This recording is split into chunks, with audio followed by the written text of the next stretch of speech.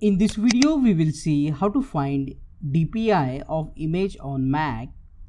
So to find the DPI of the image what you have to do is right click on the image and here you will see the option open with. So under the open with remember you have to select this option preview.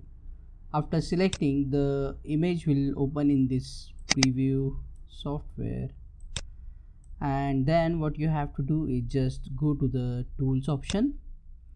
And under the tools you will see show inspector. You can also use this shortcut. After clicking on it you will see all the information of this image.